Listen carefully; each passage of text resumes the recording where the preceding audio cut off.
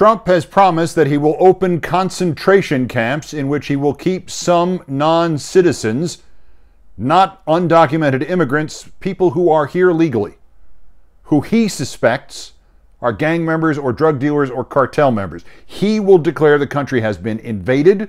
He will invoke the Alien Enemies Act on the books since 1798 and he will round up non citizens over the age of 14 who he, at his sole discretion, believes may be criminals, and he will deport them or he will keep them in camps, concentration camps. Donald Trump's concentration camps. Oh, and thousands of U.S. troops on the Mexican border. We must stop this madman at all costs.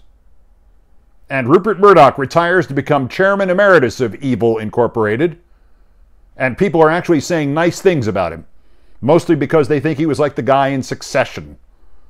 He was a man so evil that a dying TV playwright named the cancer that was killing him Rupert so that he had something to fight and hate. And who said that if he had not been writing something new before he died, he would have killed Rupert Murdoch on behalf of mankind.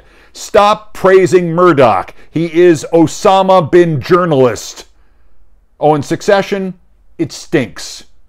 All suck, no session. All that and more in the Friday Countdown podcast, available now wherever you podcast and also available on YouTube.